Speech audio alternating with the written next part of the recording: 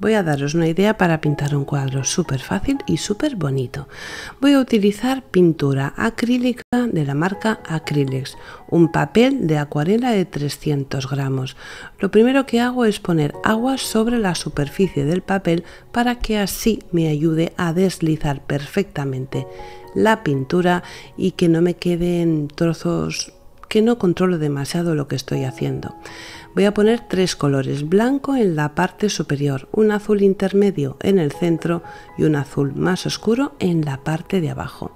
Empiezo por el azul intermedio y sin limpiar el pincel, cuando veo que el pincel ya está más descargado de pintura, me voy hacia la parte superior y el blanco coge un tono azul clarito y hacemos un difuminado de una forma súper sencilla. No vamos a limpiar el pincel con agua en ningún momento.